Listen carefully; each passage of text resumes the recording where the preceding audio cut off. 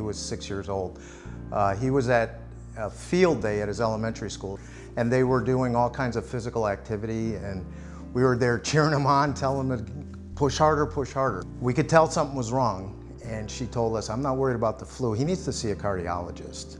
There's something wrong with his heart. And we, so we're thinking, okay, he'll see a cardiologist sometime in the future. And she said, no, today. And within a couple of weeks, he was having surgery for subaortic stenosis. So they monitored him over the next several years. And at age 10, uh, we went back in and they did something called the Ross procedure.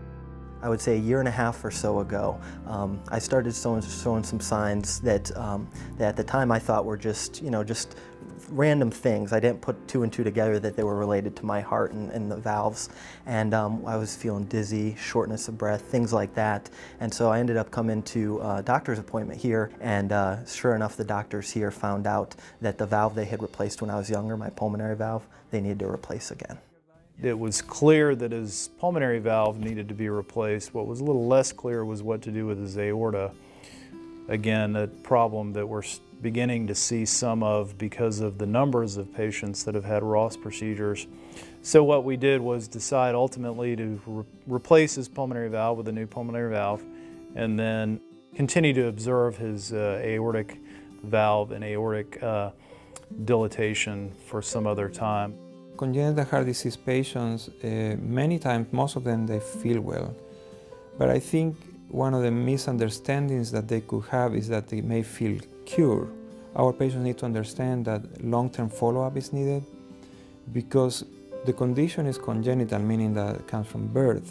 So sometimes waiting for symptoms could be too late. So we really want to ask our patients to follow them early on so we make sure that we check the heart that everything is fine. Good job. Nice.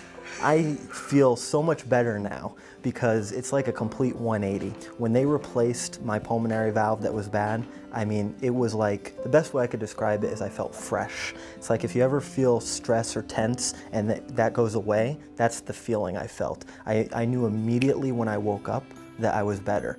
In our program, although we focus a lot in congenital heart disease, we're also changing our paradigm to adult congenital heart wellness, meaning that we want our patients to thrive. So we really want them to get healthier, have healthy weights, uh, eat healthy eating habits if they're struggling with some issues.